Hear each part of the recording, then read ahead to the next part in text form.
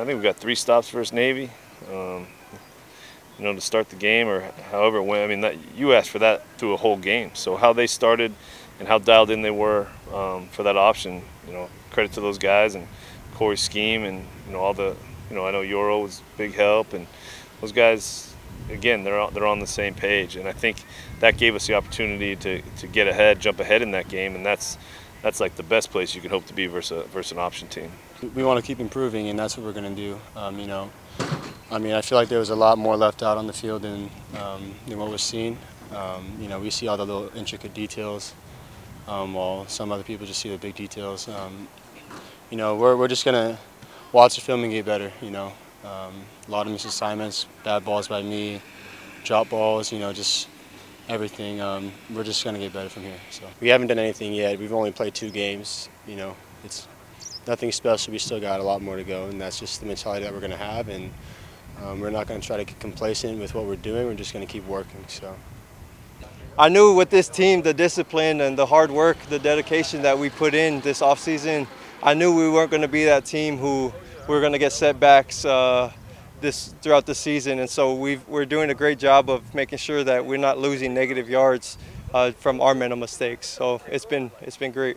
The fans mean everything to us, and to see you know the yellow section filling up a little bit, and then the student section filling up, that's that's huge because they have to make that push from campus all the way to the stadium, and so it's really it shows their dedication, but you know, it starts with us on the field. As, as long as we keep doing things the right way, on and off the field, I think we'll get that support. And so it's really good to have that student, um, that student section filled up.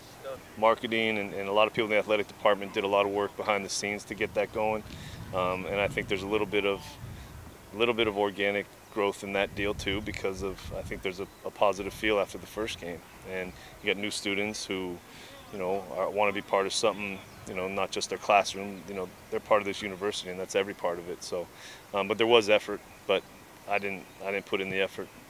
Um, you know, I thought people did a great job though, because those students were great, and the and and everyone who put that stuff together, from the flyover to the, you know, all the organizing all the military. There's too many people to name, but you saw you saw a game day where the University of Hawaii athletic department really, I thought came together with Aloha Stadium and, and, and, made a great experience for everybody.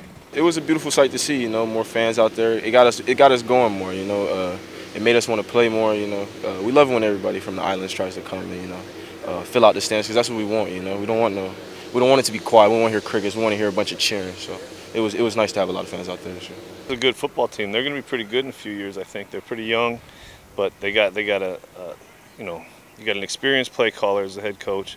He knows the answers to, to, to what his offense is. You know, they want to run the rock. They've shown that they have the ability to throw it also. Um, challenging schemes um, on both sides of the ball, really. Some stuff we haven't seen yet um, as an offense, you know, and you're going to have smart players at this on this team. So, you know, this is this is not one we are taking lightly. I think they fly around the ball a lot, and um, I think they're going to really try to change up the coverages um, compared to what they've seen Colorado try to do or um, uh, Navy. I think they're going to try to, um, you know, just empty the or empty out the box and make us run a little more so that we don't have those big explosive plays. But I think we, if we do our assignments and we do them well, I think we can come out with another victory. Because you know, I'm just trying to help the team win. That's that's my main goal, and um, you know, I, I, got the shot, and you know, the guys around me just just make it so much easier. And um, you know, we're just gonna keep getting better and keep grinding. And it just means everything to me. You know, just um, you know, I'm not from here, but you know, Hawaii is home for me, and I'm gonna, I'm gonna do everything in my power to, you know, give this state everything I have. So. Um, he's proven himself for these first two games, and so it's just uh, it's a privilege to be able to play with a quarterback uh, as dynamic as he is, to be able to run and uh, make the throws that he's been making. Um, it's just it's really fun to be out there with him. Uh, I love it here. You know, I've been out here for like almost four years now. I love it here. Uh, I love the island. I love the people. I love the food. You know, a lot of good things to go around and eat, and uh, the people are just very nice people, and they they take you in as family, ohana as they say out here. So.